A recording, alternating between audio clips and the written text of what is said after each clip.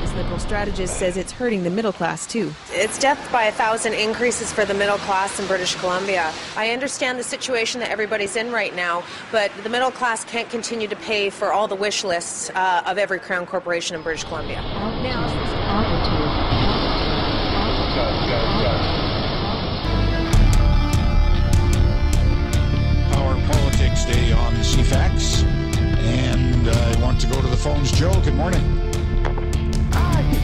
Mr. Sanford. It's a privilege and honor to be on your show this morning. Uh, I got a question for Alise. And I got, Okay. Alise, you said, Alise, you said last night uh, on Vancouver CBC that uh, the Crown corporations had some kind of wish list and you were going to rip it up. I wonder what's on it. Thanks, Frank, for taking my call. Okay. Okay, I guess that's me first. I guess so. well, I didn't say that uh, that I would rip up the wish list. Um, I said that there was a, you know, I was I was talking about ICBC's proposed uh, rate hike.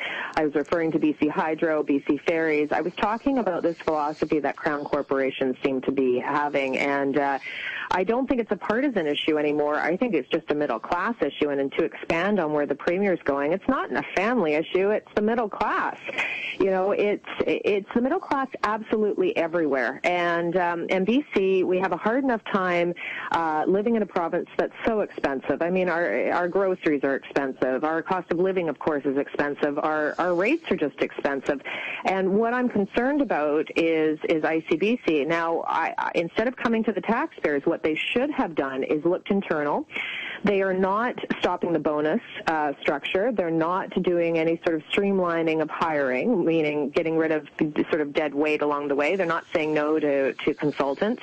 They're not doing any of that. And I find it um, absolutely arrogant of ICBC to come forward at this time and ask taxpayers for more money. I don't know if ICBC isn't looking up and, and sort of seeing how the world is for British Columbians and families here, but it's absolutely arrogant and they need to live with what they've got.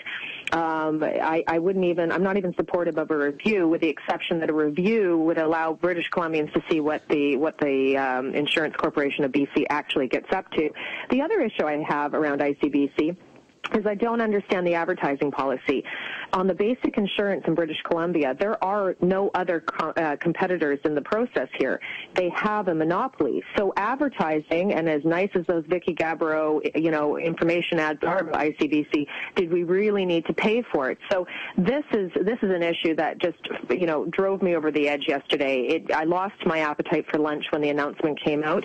I think many British Columbians did. Yeah, it may be thirty bucks, but it, this and and to ICBC, this may not sound like a lot of money, but it is a lot of money. And I started to also think about our trucking community, who has been heavily hit by a lot of bad policies and a lot of bad ideas and a lot of bad situations with the global economy. We've got to support our trucking industry, and we've got to support communities outside of the downtown Vancouver district. Um, this is a province that runs north to south, and we need to keep that in mind. Got it, got it, got it.